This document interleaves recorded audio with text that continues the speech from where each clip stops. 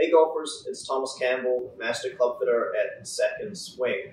This is an exciting time of the year for me. I get the chance to compare new technology versus the older technology. So Cobra is just come out with the new Cobra King Rad Speed driver. Uh, the Cobra King Speed Zone driver was very successful for Cobra in 2020. I actually almost played this particular driver myself. Very, very impressed with how well the Speed Zone performed in 2020.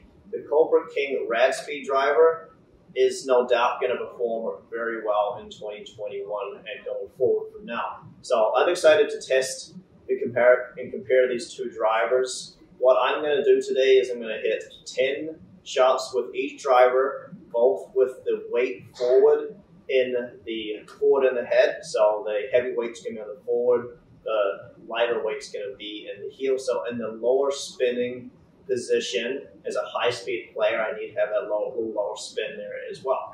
So first thing we can talk about when we compare about these two models, looking at them.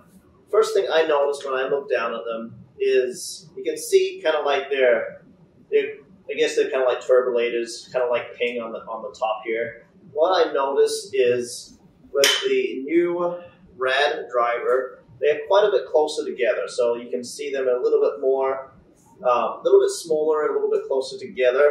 Where the uh, King Speed Zone driver, they're a little bit more wider apart.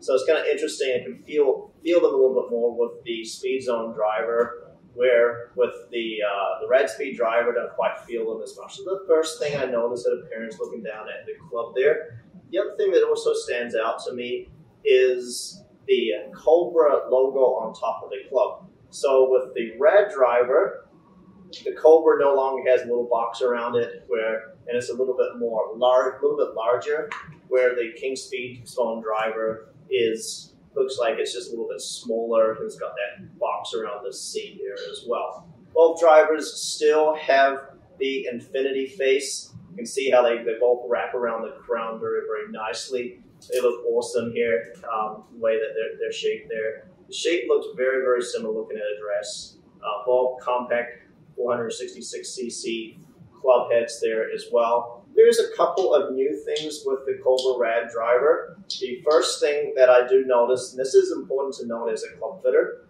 is the weight, talking about moving the weights around. So right now with the Cobra Rad Speed driver, the radial weight, they have about 28 grams positioned forward. And then 16 grams of that is fixed, where 12 grams is adjustable weight. With the Cobra King Speed Zone driver, 14 grams used to be able to move back and front there a little bit. So a little bit less weight can be moved, but a little bit more weight forward with the driver there too. And that should generate maybe a little bit more ball speed, a little bit lower spinning with the Cobra Rad speed across the face there as well. But it's pretty well balanced across the face. They have weight in the back and in the front there too. But with the, the Rad speed driver, they have the radial weight on, all the way to the forward side of the driver, where they actually have two other models that have come out. We've got the Rad Speed, we've got the X um, XD, and then the XB. So extra weight in the back and extra draw weight with those two models there too. But specifically, we're comparing the Rad Speed driver there as well. Um, the thin ply carbon crown, it is just a little bit thinner. I believe Cobra says is about 30% thinner, which allows them to redistribute about six grams of weight to other areas of the driver. And then the chassis with the driver also has a little bit um, changed in design, so about seven grams lighter, so they can redistribute the weight around with, with the driver too. But both look pretty similar looking down it.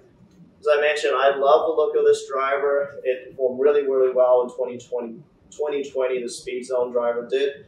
I'm excited to test numbers, compare the two differences between these two models here as well. So for today's test, what we're going to do is we're going to hit 10 shots with each model. I do have the uh, Motori F1 driver shaft. This is the new stock shaft that comes with the Cobra Rad Speed um, driver. Um, so I'm going to put the shaft in both heads. So this is pretty unbiased shot, unbiased test. And I'm going to test with the Pro V1 X Golf Ball there as well. So stay tuned as we test both models. If you haven't done so also, make sure to subscribe to our channel and give us some comments and, and really appreciate your feedback. So let's get after and taste, take a look at some numbers with these two drivers.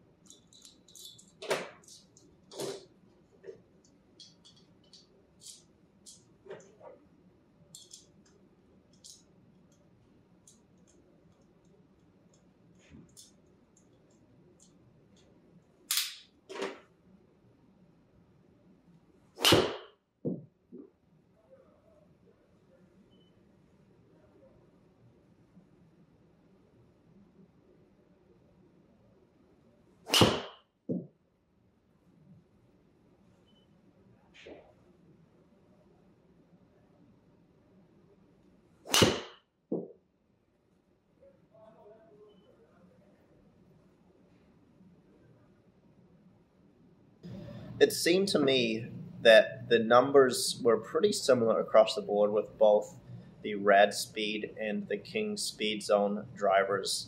I may not expect to see a massive difference in one generation of drivers, but let's take a look at numbers and take a look and see what the numbers tell us.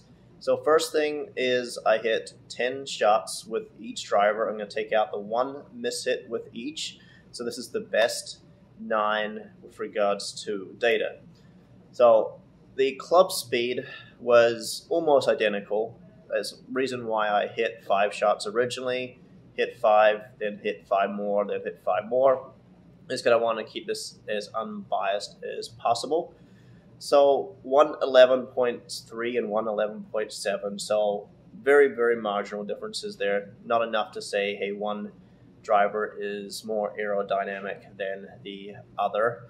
Um, ball speed was just a little bit faster with the Cobra Rad speed by 0.3 miles an hour, uh, 166.1, 165.8. The smash factor number 149 with both models. Uh, the launch angle at 13.6 and 13.5 and the spin rate between the two models were we're, we're talking we're talking within 10 RPMs for nine shots with each driver. So almost identical with regards to spin. The rad speed spun nine RPMs less than the Cobra King speed zone. Uh, carry this is this is crazy across the board that the numbers are almost identical between each driver. The carry distance 289.3, 289.4, going 318 or 317.8. So, I mean, right across the board here, it's amazing how similar the Cobra, King Speed Zone driver is and the Cobra Rad Speed driver is here. Talking height, 107 feet in the air, 106 feet in the air. Um, I'm always interested to look at my attack angle to see how that consistent that was across the board. My attack angle was 4.6 up with both drivers. So dynamic loft was the exact same with both drivers. So this is about as good a test as you're going to get comparing the two models. Um, dispersion. So let's take a look at the dispersion pattern. We'll notice that the Cobra King Rad, we have six yellow circles kind of over on the on the left hand side, three out to the to the right side. So we'll notice now it's pretty hard to, to really completely say, hey, the Cobra King Rad driver flew a little bit straighter. But you'll notice the consistency with regards to those yellow circles being a little bit closer together, as opposed to the white circles with the Cobra King speed. They were separated by about the same distance across the board. So I would give the uh, Cobra Rad speed a little bit more, yeah, just a little bit better uh, with regards to dispersion pattern, knowing that I like to hit a little bit of a draw. it's interesting that I had a little bit more of a shot shape of a drawer with the rad speed as opposed to the Cobra King speed zone, which just flew pretty straight overall. So we're talking really pretty. and We're talking that the numbers were basically identical between the, the two drivers with regards to, to numbers. One generation difference, not going to notice really too much at all. So really interesting test. Now keep in mind, I'm a very, very consistent player. I want to just take a look here and see where I was catching it on the club face with these drivers. Um, so if we look here, the King Speed Zone, slightly, if anything, slightly high toe. Uh, that could be partially the reason for the uh, the low, the slightly lower spin at about 1800. Um, yes, if anything, I was just hatching a slightly high toe with each driver um, across the board here. So we're talking, yeah, numbers were very, very similar between the two models.